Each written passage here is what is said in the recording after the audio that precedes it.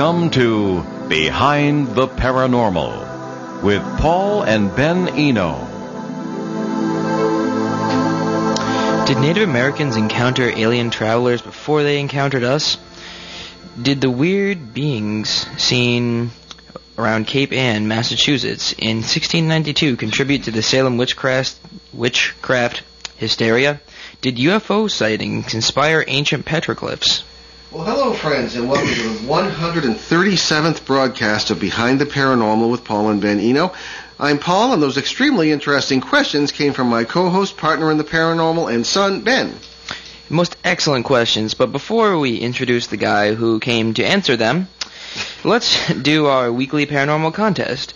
Nobody got last week's question. In what U.S. state was a monster of this description seen by many people in the 1970s? Three legs, pink, two pink eyes as big as flashlights, and short arms on a four and a half foot tall and grayish colored being. Body. Well, Body, know, hey, you know, you see that sort of thing every day. I think we got more gripes about how hard the question was than we did attempted answers. Now, come on. This is one of our favorite monsters. Have a little gumption. what? Our producer says that we were describing his ex-wife. Well, uh, we're going to reword the question for this week. I'll let that pass. Okay, so in what town in Illinois was a monster scene of this description seen by many people in the 1970s? Three legs, two pink eyes as big as flashlights, and short arms on a four and a half foot tall, grayish colored body. And a partridge in a pear tree. The secret word in there is Illinois.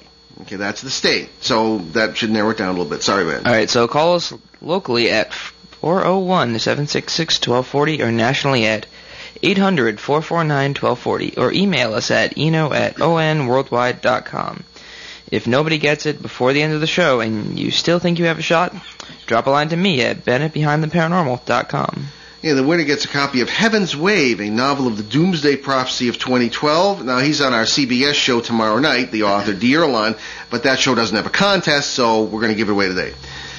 And our guest today is Robert M. Stanley, formerly a corporate journalist for Honda Research and Development in Torrance, California. Robert is now the editor and webmaster of unicusmagazine.com, the author of Close Encounters on Capitol Hill. I can't wait to read that.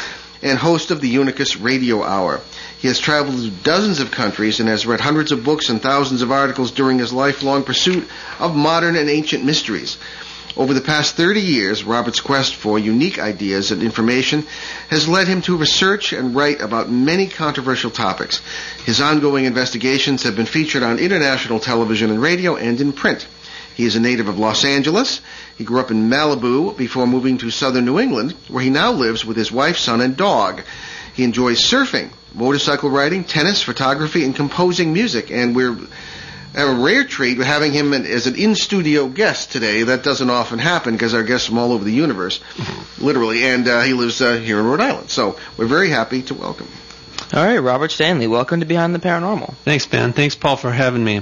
It's a real pleasure. Oh yeah, so uh, first question. Yep. Is Von Daniken right? Were native peoples visited by UFOs in the days of yore?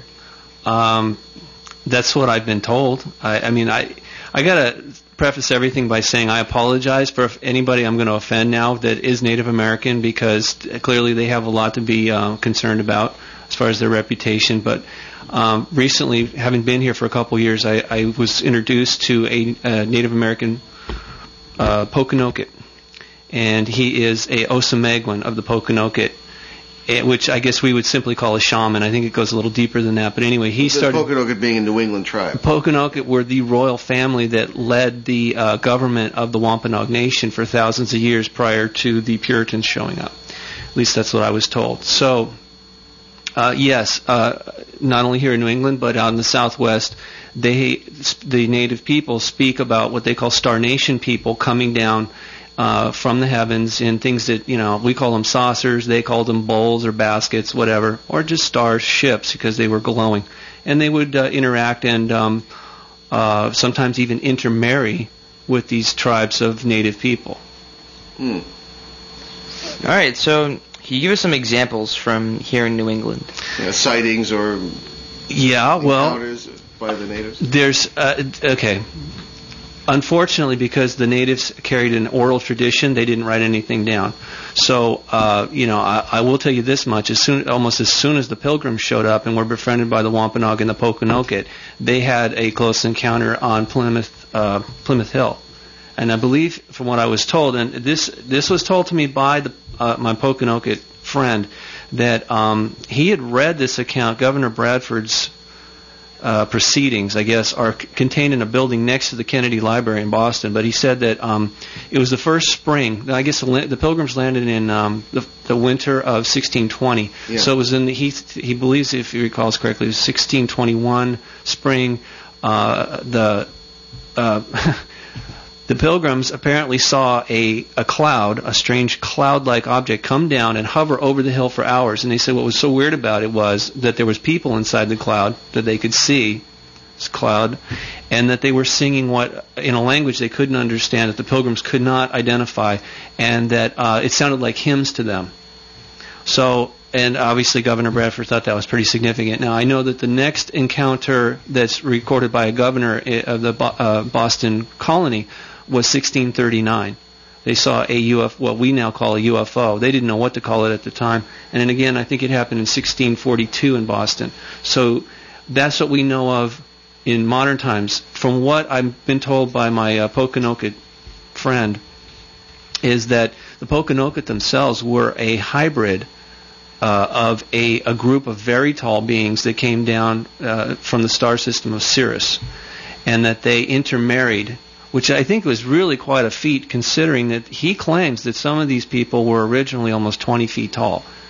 Now, that may say complete that sounds completely insane, but the legends like that and even remains like that have been found all over the world. So I had to pay attention to what he was saying and he said over time there was multiple generations and that they started to diminish in size so that they became like anywhere from 8 to 12 feet tall, this hybrid. Now, you take the 20 feet tall and the, whatever size the natives were, somehow they started genetically crossbreeding, and um, uh, there was, like I said, a, a compromise, uh, 8 to 12 foot tall. And this is what we were talking about off the air there. Uh, it was that uh, Henry Wadsworth Longfellow wrote about this skeleton and armor that was discovered in Fall River, Massachusetts, when they were digging a road. And uh, this individual was eight to nine feet tall, had a large shield of copper that was around his stomach and chest area. He also had um, 12 arrows that were copper tipped. Now, those, those, that copper supposedly came from Newgate, Connecticut, and it, for a very ancient copper mine that predates the European arrival. So, um, hope I'm answering your question here about. No, no, the, no. uh, You are examples of uh, well, you know, the colonials and the excuse me, the natives uh, interacted for quite a few years there. So yeah, it's relevant by all means. Okay, well, but as far as the extraterrestrial aspect of it, what they call the Star Nation people, um, the Pokanoket themselves are, like I s- w- so was describing, a hybrid between or a cross genetic uh, breed between these extraterrestrial, very tall extraterrestrials, and the native people. And that at some point the Pokanoket became the uh, governing authority over the Wampanoag Nation. Not that they were lording over them or trying to control them. They just they had more understanding of how government or civilization should be run, and they institute a government uh, uh, uh, based out of Wachusett Mountains uh, or because apparently something about the mountains that the UFOs like to go to or the spaceships like to be attracted to. There was three mountains in particular where contact usually occurred. That was Mount Hope, Mount Wachusett, and Wanadnock. And um, Oh, in Monadnock in New Hampshire. yeah, Yeah. yeah, and all three of those apparently they had uh, communication systems. Even the, the natives had a, a way of uh, they would go to the top of one, you could see the other, and the other, and they would light fires. And but they also had uh, the powwows were held uh, under the star Sirius for a reason, is because that they were recognizing the uh, the fact that that was where they had originally come from. So Yeah, this is really fascinating. Now, now this this may sound far out to people, Mhm. but th- there are uh, echoes of this story all over the world. yes, You know, we've done entire shows, uh, particularly about the Middle East and the whole Genesis story and Mm-hmm. the contemporary documents from the Sumerians, etc., which really is is this this entire scenario really on a larger scale. Yep. So this seems to be a pattern all over the planet. Right, but I okay. So ha- having studied that on the West Coast and then coming here, I had a feeling that I would find it eventually. I was really surprised though when I was introduced to this this Osameguin from the Pokanoket family, and he started opening up and just you know downloading all this information to me. So he's very you know, I, he's up there in years, and uh, he. I think part of the reason we met is I was giving him information, he was giving me information, and, and part of it is I'm supposed to, I think, preserve what he knows before he disappears, and uh, and then preserve that, and then pass it on to people that are interested, because it is an important piece of the largest puzzle that you're just describing there. Well, you mentioned the star Sirius, especially, and uh, one thinks of the Dogon people of Africa, whose Mhm. name you reminded me of before the show, Yep. uh, who believe that their ancestors came from the vicinity of the star Sirius, which is the brightest star in the sky, and Right. not all that far away. Uh, Or right. is it? It's it. Well, if you have the right technology, and see, this is a thing. If we go back to what you know, before I came to New England, I was studying, uh, uh, researching, investigating, whatever, uh, Washington D.C. and the paranormal events going on there, and. Um, One of the things I found out was that there, we actually, my, my journalism partner there in D.C. had taken a picture of a Stargate or wormhole, uh, Senate side of the Capitol in July of 2002, and clearly there was objects going in and out of this thing, and uh, Stargate, I guess you'd call it. And what's interesting about that is the Hopis, in, uh, the Hopi people out in the Southwest, they claim that how they got here from the Pleiades star system was that they literally entered a hole in the sky. They followed one of their Kachina gods, Mhm. which is a humanoid, but you know they wear a mask because they they don't want you to see their true identity, but they're basically human. And uh, he's the one that plays the flute. I think you call him Kokopelli or something. Yeah, he's a very famous uh, art subject. Yeah, yeah. A lot of people stylized it, whatever. It's Yeah. an iconic thing. But I'm just saying, there they claim there was an individual, this god-like person, who led them up a ladder into a hole in the sky, and they emerged here.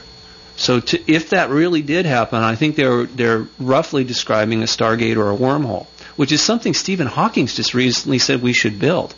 Um, on the one hand, he's saying we shouldn't talk to aliens because they might harm us. On the other hand, he's saying we should build a, a wormhole. And I say, Yeah. to where?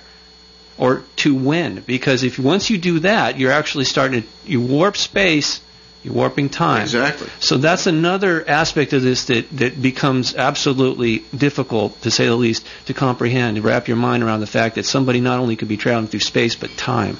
We're always doing that in this show. the whole multiverse thing is how we what we base our paranormal work on, and Yeah. it's uh, carries you way beyond what you see on TV usually. Yeah. Excuse me.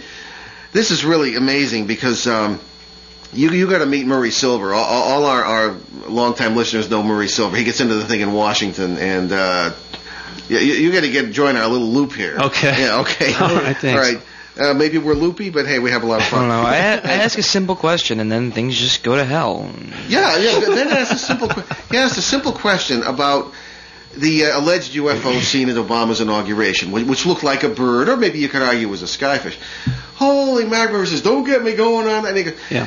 You know the, the whole and the influence of the paranormal. When Washington came out, that switchboard lit up, and Mm-hmm. this is on our South Dakota show. Um, Yeah, some it's time ago. radio. Yeah. But uh, I'll tell you, Ben knows how to ask those questions. Well, hey Ben, have you seen the photographs that I've got on my website of the UFOs landing on the Capitol in July 2002? Actually, no. You should check it out. It's at unicusmagazine.com. Just click on books, and then there's a lot of free information there. Um, it's way beyond what CNN accidentally captured. That to me actually does look like a bird. Um, but I have got the world's largest collection of uh, U- DC UFO movies and photographs, Wow. and that took me five years. And I also have almost 700, 700 reports of UFOs and or extraterrestrials in the District of Columbia since 1850 to the present. Again, that took me five years of really hard work to dig that out, but it wasn't in some secret vault. It was just sitting there, kind of scattered to the wind, and um, you know. uh, w- Well, everybody wants to know why would they go to D.C. Well, it's the seat of power. Why wouldn't they go to D.C.? Take me to your leader. Um, either that or they are already having a covert relationship with our. le- If you take what I just said for, on face value, that the Pokanoket were actually the leaders of a nation here, and that they were from Sirius, why, why would that stop? Why would somebody stop unless there's competition? And and I think we should back up just a minute because they don't they aren't just coming from Sirius. There's visitors coming from Orion. There's people coming from the Pleiades, and those are just local That's just local stuff. There may be people, if, if stargates are or wormholes do exist or they can be created, they could be coming from not only distant regions, they could be coming from the past, they could be coming from the future. Um, it's a bit unnerving. And I'll tell you the other thing that, that is very disturbing to people is that these starships have the ability to cloak themselves to our naked eye. And that is very unnerving to think that they could literally be over DC or anywhere else and you can't see them. See, this would seem really wild to me, except that from the things we've heard on this show and people we know, people we trust, you know, that we hear similar things. Uh, before we get into that any further, though, I wanted to, to talk about another incident Sure. that I have always found very fascinating that occurred in New England history, and just get get your take on it. All okay, right. it's very little known, but. Um, and uh, Ben doesn't even know about this, but th- this occurred in 1692. And I often wonder, did it contribute to the witchcraft hysteria that began around this area at the same time? Now, this is on Cape Ann, up north of Boston, and the Salem was a little bit further south. But there, there's um, uh, the town of Rockport. It's all to this day, it's very quaint, and North Shore and all this. stuff. And what occurred was that all of a sudden, these people dressed in white started appearing.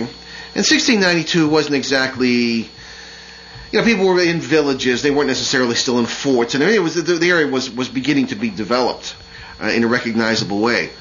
And the the people, the English settlers, assumed that these people were were French, and were, were like French spies or French, in, you know, insurgents or something like this, working with the natives. But it turns out that they were uh, people who were sort of dressed in white. Looked kind of strange. That's about this is about all Cotton Mather says. Cotton Mather being the great uh, historian and controversial divine of the period, writing uh, about uh, New England's development at the time. And these people would would appear in very large groups, would uh, come to the edges of the towns, and being good colonials, they naturally tried to shoot them. All right, so they would sometimes chase them away, but they they could not capture any. They they um, when they would be shot on the rare occasions, uh, they would maybe fall over, but they would get up and walk away unharmed. Hmm. And sometimes the bullets or whatever they're using would have no effect whatsoever. There were several kinds of them. Uh, in other words, uh, this well, they thought they were you know French and, and natives too. And this went on for a period of months. And and uh, matter of fact, there was so much firing going on at these people, which had no effect, that they could hear it as far away as Plymouth Wow. well, across the water, which is still it's quite a distance. Right. So, and, and they they began to call these people the League of Spectres, and naturally they figured they were from the devil because they you know seemed to have very little physical effects on them when they would shoot them. And uh, they didn't seem to do any harm. I mean, at times they would approach and seem to want to be friends. I mean, somebody like that. Yeah, kind of. Yeah, can you put that on the anybody who's uh, listening on the internet? Yeah, there we go. Is right that there, good? On our webcam. Now, what is that exactly? That's me. You. That's me. I was recreating a. Um, I had I did a photo shoot up in the mountains where the ruins, the megalithic ruins I found out in Malibu. Um, I, I had an encounter there with a being just like this, Okay. and he said he was my father, which really floored me. Okay, because I wasn't expecting that at all. But uh, shortly after that is when I, I started finding all the ruins, and Yeah. I was given all these artifacts that I was telling you before, and uh, meeting a secret society of the the Chumash Nation out there in California. But um, that's to me, these are interdimensional beings. I, am glad you brought this up because a lot of times what we're seeing. Uh, these glowing balls of light um, coming and going, those are not technology. Those are actually advanced life forms. I think that's really what our true self looks like when they say we're created in the image of God. I think they're talking about our soul, which is like this luminous egg or sphere of light. Yeah. Yeah, one can go so far as to say is like all the depictions of Jesus are like that. You mean when he's glowing? You mean when he's got the halo, or what are you saying? Oh well, like after he's resurrected, he's like all in. Oh yeah, stuff. yeah. the- It's called the glory, you guys. It's uh, Hmm, it's that's right, that's is. what literally it means. And if you look on the on the uh, the back of the dollar bill, the Masonic symbol, the Great Seal, Yeah. you'll see the glory around the all-seeing eye, that radiant light. Mhm. Yes, that's the. You know, th- there's something something that's happened recently. A big breakthrough in science. It's called digital physics, and it talks about that consciousness is primary. And I'll get through this really quick. I know this is going to sound a little boring, but um, This is not boring. Okay, well, Yeah. to some people, they're like science. um, it, it's what it says is that um, uh, consciousness is digital, meaning that a digit or quanta of, of consciousness is can be any size. It can be massive. It could be the size of the universe, or it could be the size of a, of a t- tiny atom or a quantum. Uh, I mean, uh, you know, even a subatomic uh, digit. Anyway, it can also be on and off. It, it, can be processed like any other digit. It can be computed, um, and it's also it's self-referential. It's always communicating with itself. Now, what's interesting about this is a digit of consciousness can be like a digit or a, a, a atom of water.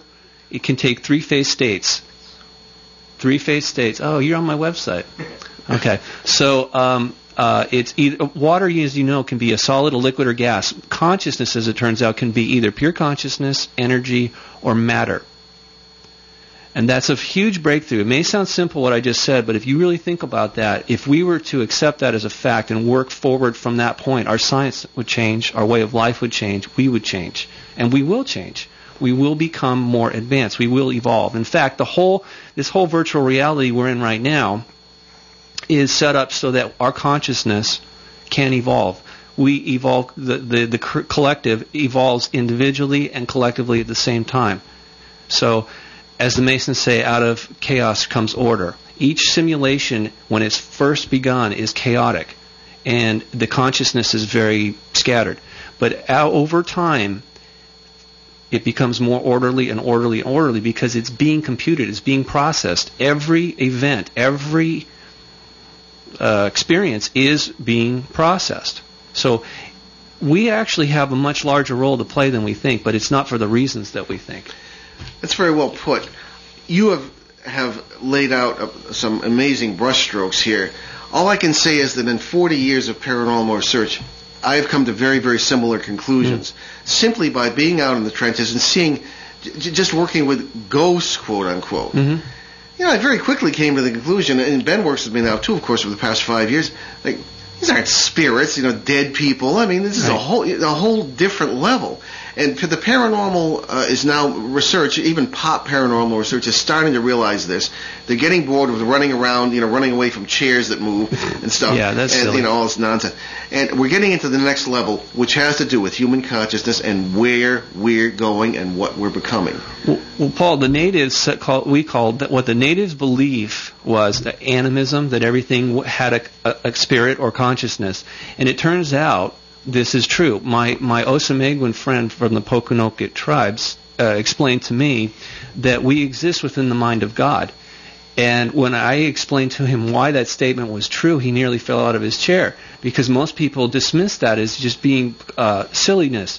But I, I not only recognized it, I honored what he said, and I took it one step further and I said, okay, you're right, and here's why you're right.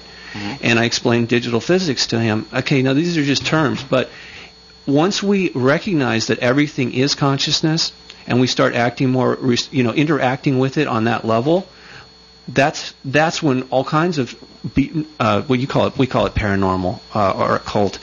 It's it's not really hidden and it's not beyond the norm. It's just a different level of reality. That's well, as all. we say, it's all part of nature. Well, the Native Americans say that we're all related, and we are because we were all created by the same thing, the same source, the same creator, the, the, the grand architect of the universe. So, um, you know, by degrees we all evolve, but collectively something's going to happen. From what I understand, I know a lot of people have theories about 2012, yeah. but but there is a cycle of events that happen. Uh, uh, you know, consciousness has to evolve. That's the that's the primary reason it exists. So there's going to be a shift in consciousness, a drastic shift in consciousness, and that's coming soon. Okay. Excuse me. Very good. Excellent. We're, we're going to leave it there for a commercial break. We're going to be right back um, behind the paranormal with Robert Stanley and our fascinating conversation about everything. Stay with us. New River Press is proud to sponsor tonight's segment of Behind the Paranormal with Paul and Benjamin Eno. New River Press offers the best in unusual New Age books. Stand by the side of tonight's host, Paul Eno, as he battles poltergeists and helps suffering souls and families in the critically acclaimed books Faces at the Window and Footsteps in the Attic. Plunge deeper into the paranormal with Paul and learn about its influence on human history, its action in our daily lives, and its ultimate meaning for us in the best-selling Turning Home, God, Ghosts, and Human Destiny. Available now from New River Press, publishers of unusual books. Visit newriverpress.com, amazon.com, or your favorite bookstore. And set for release late this year in one of the most unusual books on the subject ever written. Paul gives us Dancing Past the Graveyard, What Ghosts Have to Say About God. We can. We'll get to this. Okay, we are back behind the paranormal with Paul and Ben Eno and our very special guest today, Robert Stanley, who was explaining uh, just about everything when it comes to human consciousness as the Native Americans experienced it and and, and understand it and can explain it to us. And why don't you just stuff. continue where you left off, uh, Robert? Oh, Just, uh, okay. Um, you know, I think, yeah, I tend to wander on these on this subject, but I, I just there's something I wanted to back uh, go back to as far as artifacts. And then a lot of people wonder, uh, do you believe in UFOs? And my answer is no. Uh, and I don't believe in Santa Claus either. I, I, I, study UFOs. I research them. I've experienced close encounters with what appear to be alien starships and and um, star people. You know, so that's why I'm interested in this thing. That's why I keep pushing to, because I know there's more information out there that's been hidden, or that we have ignored. I mean, it's it's kind of a combination of both. Clearly, there's an agenda going on here. Some people feel that um, we're more easily controlled if we're ignorant.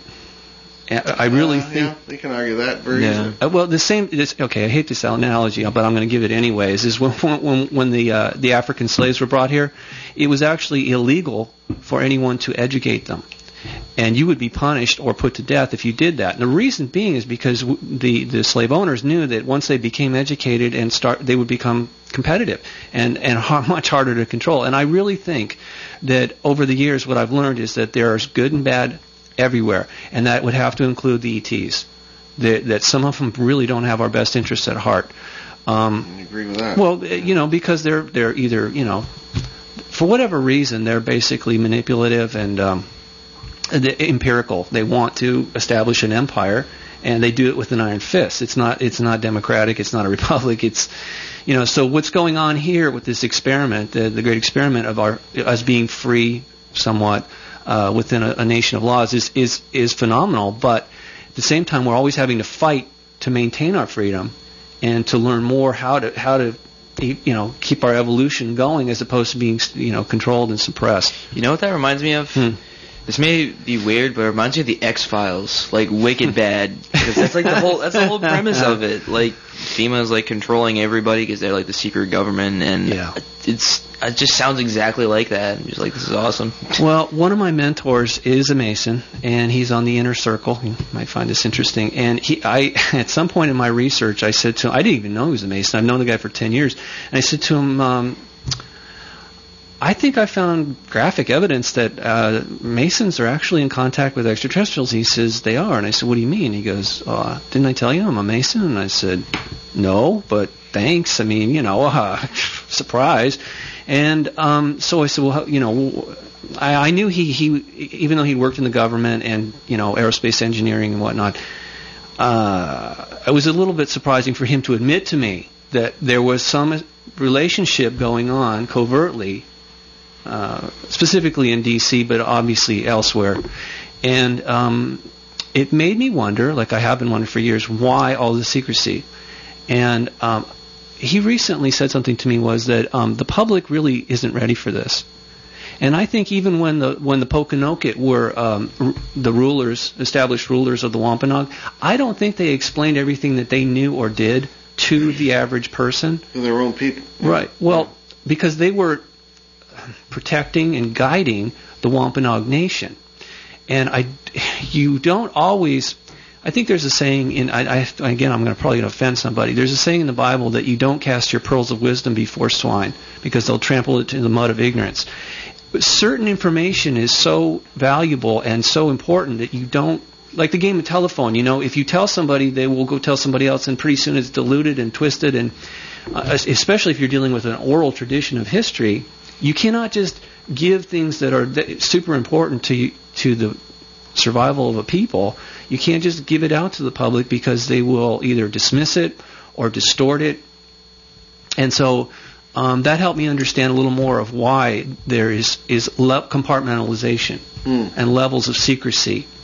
I'm not saying it can't be abused. I'm just saying that that's why it exists. To my, in my my opinion, now there's a reason for it, and it actually serves a purpose. Well, again, if if, if we hadn't seen the things we've seen, particularly me, in, in all these years, Yeah. you know, I I would, you know, wonder if I shouldn't call the men in the white coats. But you know, but but but your your experience is very very similar to what I've encountered in dealing with other native. You've had more contact than I have, but I've dealt with the Aborigines in Australia and the Cree and hmm. also the Mohawk.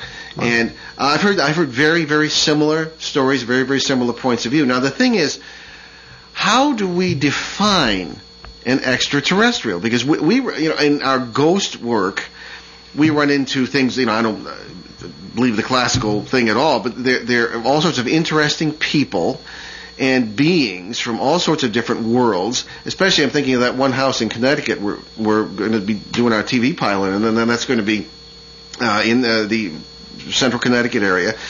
We've got very tall beings. Like you got the horses galloping down the hallway. You got uh, you know very in, unimaginably weird creatures bouncing around outside the windows. You got UFOs, black helicopters, you name it. It's there because we think it's a crossroads of the multiverse. Yeah. You get all kinds of different worlds coming together because of the energies in, on the site. It's, it's really quite unique. So um, we hear you.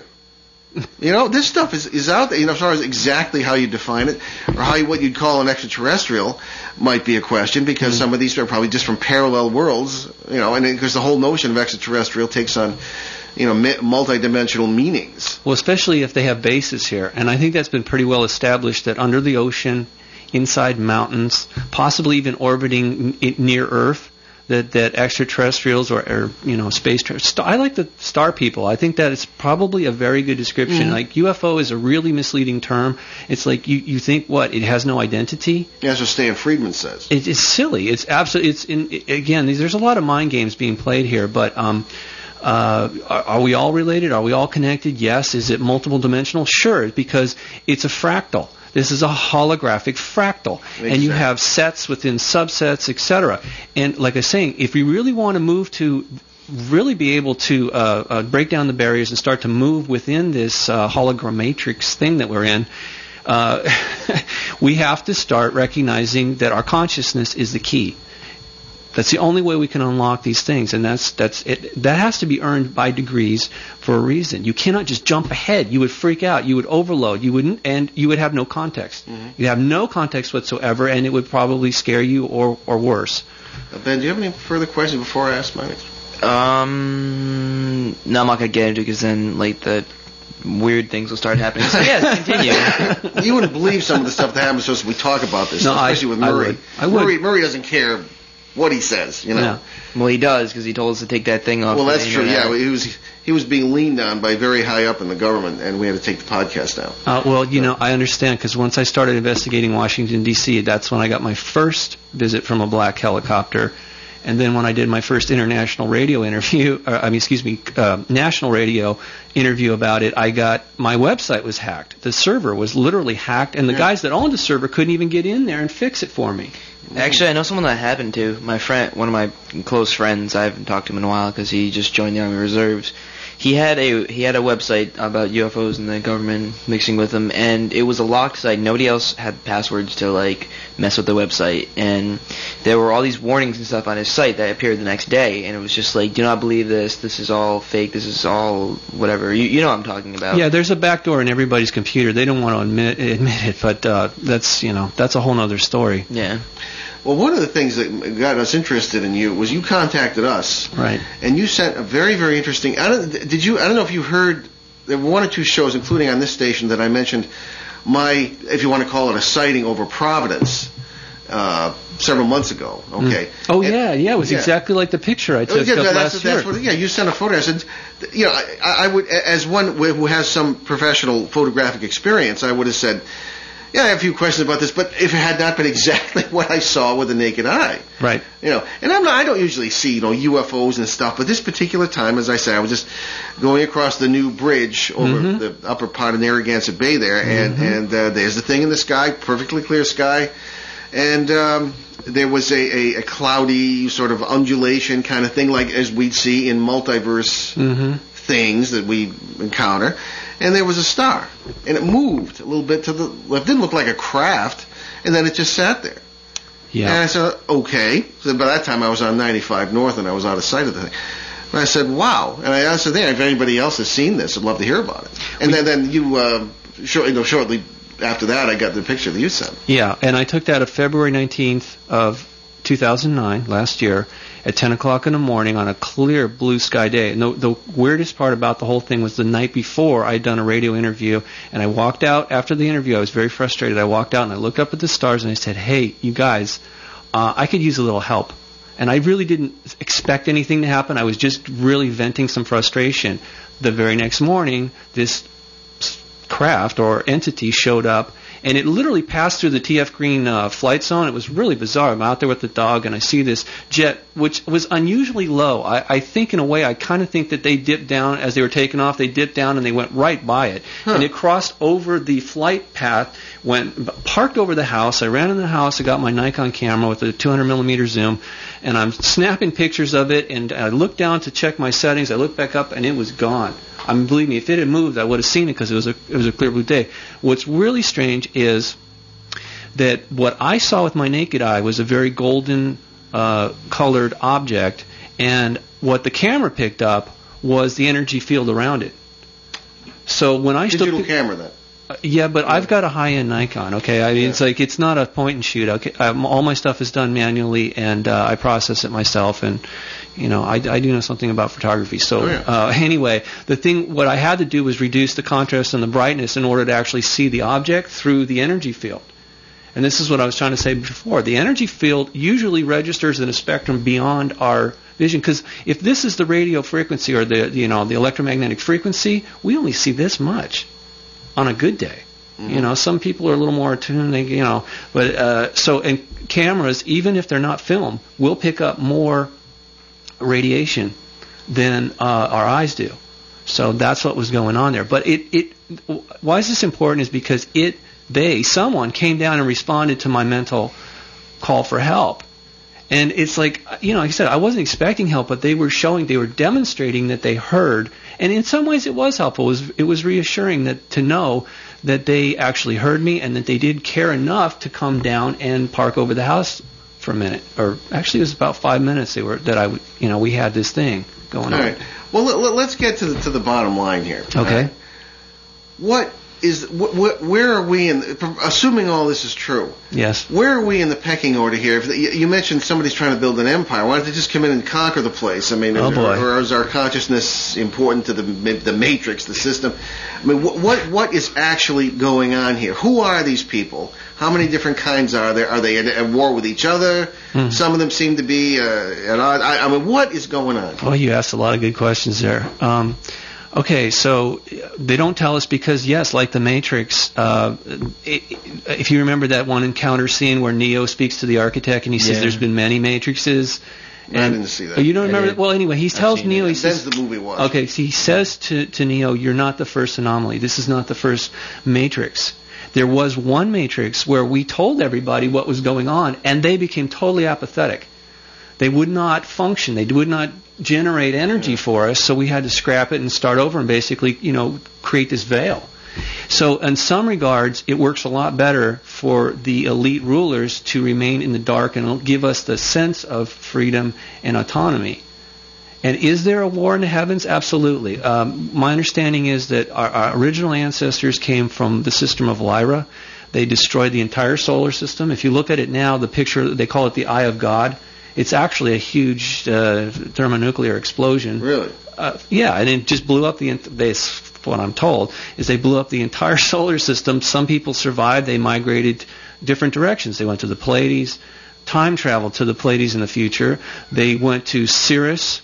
They went to Orion and probably a few other places. And then eventually they they came here. But this, you know, this is what people do. They establish power bases. They uh, create empires.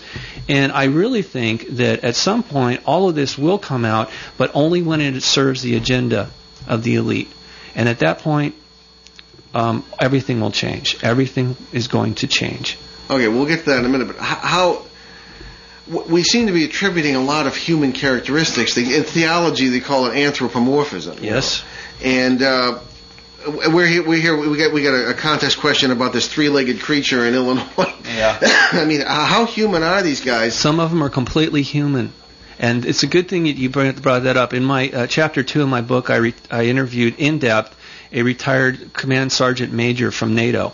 He, he, I mean, he worked for our U.S. Army, but he was actually had a cosmic top secret clearance, so he says, uh, for NATO. And, it, and in the early 60s, he read something called the assessment, the threat assessment of UFOs and their occupants.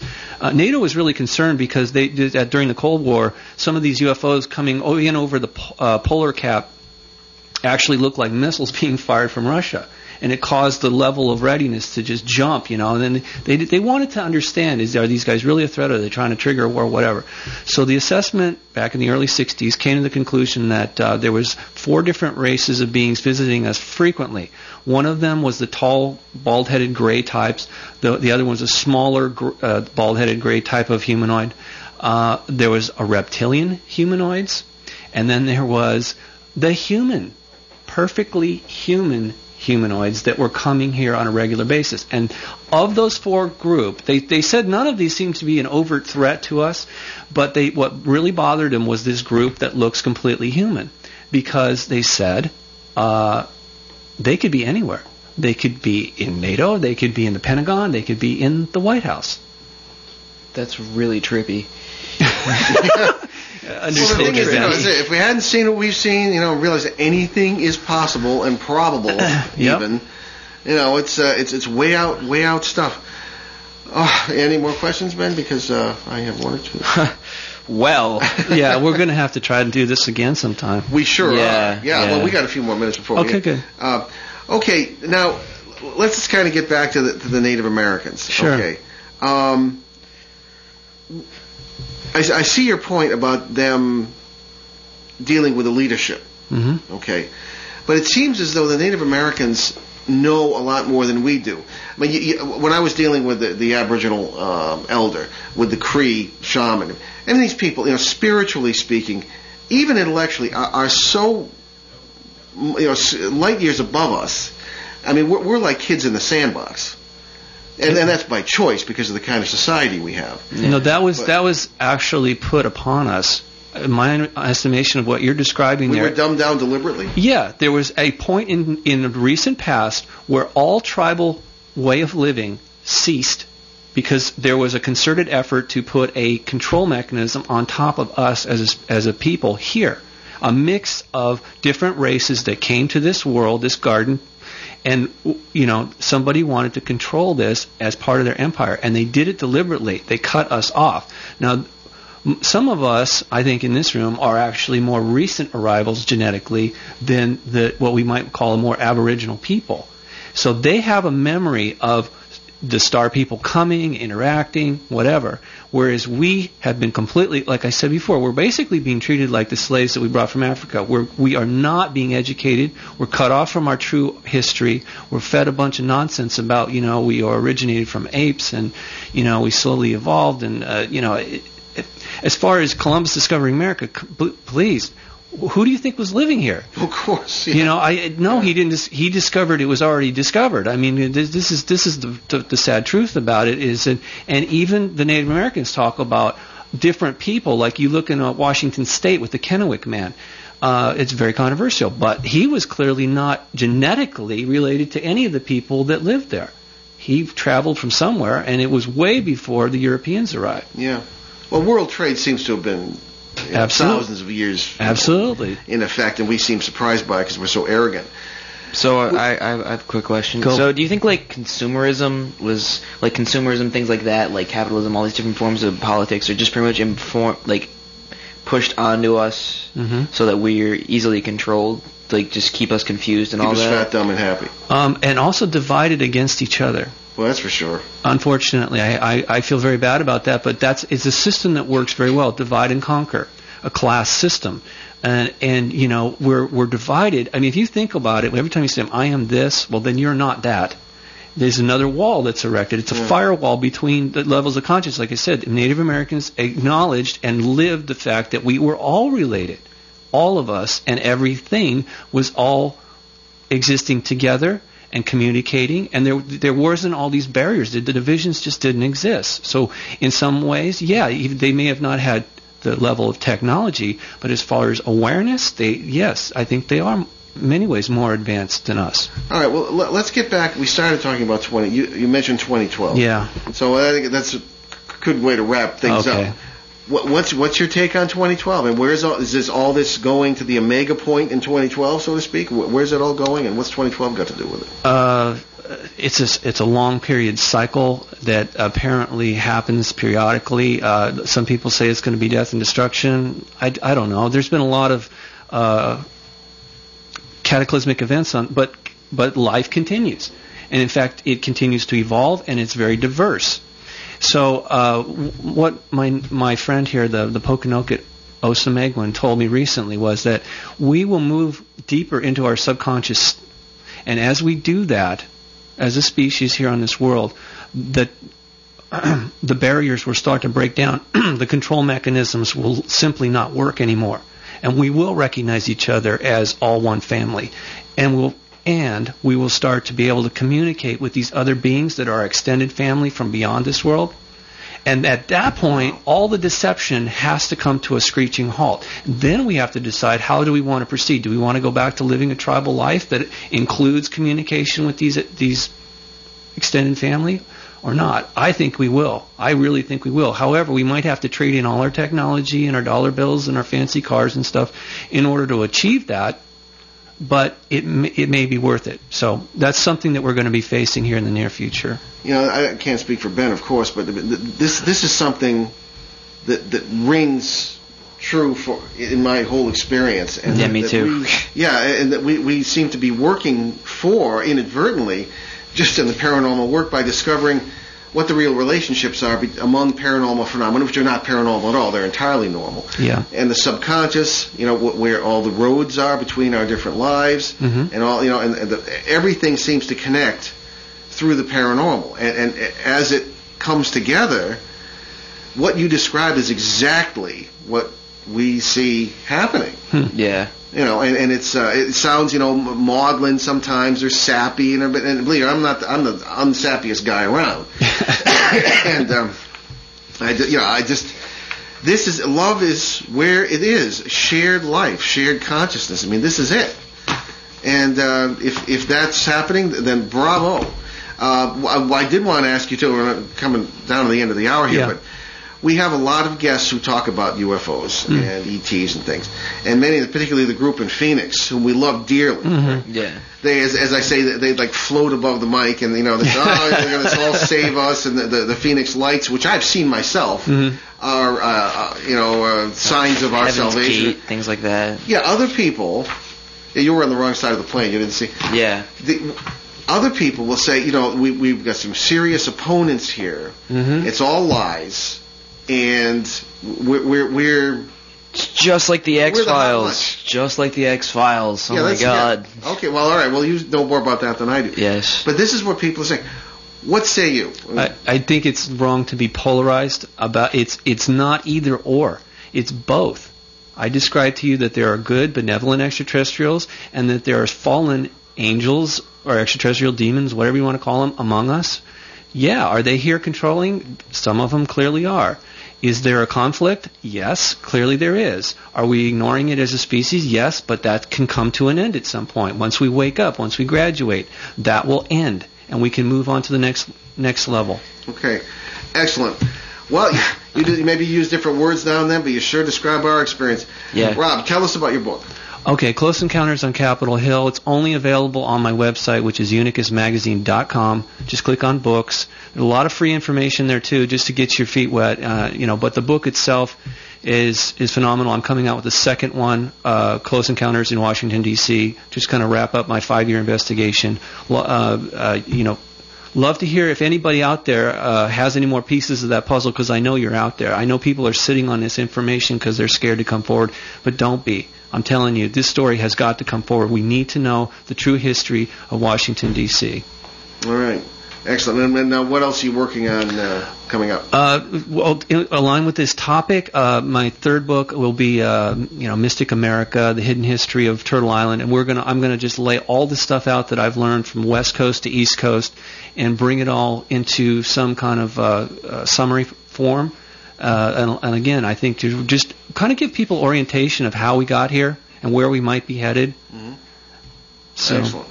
Okay, well, I, I, I think I can safely say you're going to be a good friend and Thank you. uh, a frequent guest. Yeah. Uh, just you Thanks, know, guys. we we like you a lot, and I, thank you. you know, crazy as it may sound to some people, that this seems to be what's going on or something Yes. like it. Anyway. yes. All right. Well, we're coming down to the end of our hour here. And uh, I wanted to just remind everybody, of course, check our website, behindtheparanormal.com. And we do have a couple of emails we did not get to, but we will next time. Okay. so interesting. We just never So, got yeah, absolutely. Yeah, we just get carried away. And, of course, um, as Ben would say, more show info. Subscribe to our newsletter. Oh, yes. And on our regular show tomorrow at 7 p.m. Eastern, 4 Pacific, on CBS New Sky Radio and www.newskyradio.com, we'll welcome an old friend uh, on a rather new paranormal topic, the latest development in the realm of the 2012 Doomsday Prophecies. And D. Assures us that there are some new developments. Yes, the Dierline is a novelist, but he is a real expert on this subject, and uh, 2012 coming up today is very appropriate. And he, he, uh, he also has, has contacts with astronomers who tell him things they don't generally announce to the public. So, uh, and, and we, we know him very well, and I, I know that he's uh, legit on that. All right, so ch- and also check out our show website www.behindtheparanormal.com and our local radio schedules for the cities where CBS carrier carries our show and the new websites where you can hear us from anywhere. And remember, you can always get free podcasts of all our shows along with show schedules and guest information at www.behindtheparanormal.com.